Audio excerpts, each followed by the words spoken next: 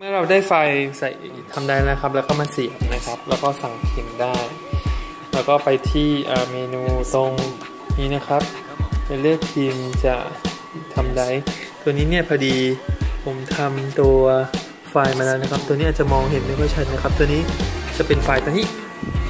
นะครับตัวนี้มันจะมีพรีวิวโชว์ขึ้นมานะครับ ถ้าเราเซฟเป็น .gx นะครับ ก็จะมีพรีวิวขึ้นมา แล้วก็กดสั่งพิมพ์ได้เลยนะครับ โอเค เครื่องมันก็จะทำการพิมพ์ให้เลยนะครับนะครับ ก็จะได้ยินแต่เสียงพัดลมของหางเครื่องนะครับ ไม่มีได้ยินเสียงตัวมอเตอร์หมดเลยนะครับค่อนข้างเงียบ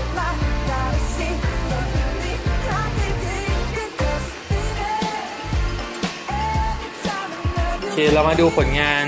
ระหว่างรอเครื่องนะครับ เรามาดูผลงานที่พิมพ์มาจากเครื่องนี้ดูบ้างนะครับตัวอย่างตัวไอน์สไตน์ตัวนี้นะครับ ก็คือพิมพ์มาจากเครื่องนี้ อันนี้ไม่ได้เปิด support นะครับ ก็พิมพ์ค่อนข้าง สวยเลยทีเดียวนะครับ หรือว่าตัวผู้พันตัวโจรสลัดนะครับ ก็ถ้าส่องกับไฟจะเห็นว่า งานพิมพ์ตรงนี้นะครับ เนียนค่อนข้างเนียนนะครับ ก็เป็นตัวหนึ่งที่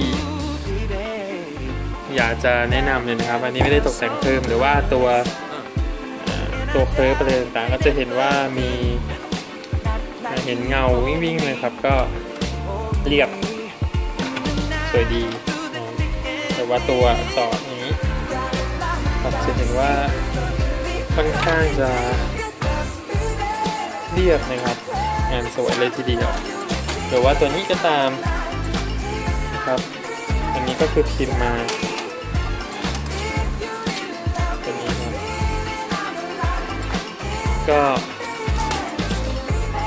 โอเคนะครับถือว่า